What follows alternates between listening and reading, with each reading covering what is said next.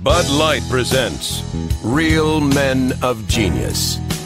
Real man of genius. Today we salute you, Mr. Multicolored Sweater Wearer, Mr. Multicolored Sweater Wearer. a squiggly, jiggly mishmash of colors we wouldn't be caught dead in.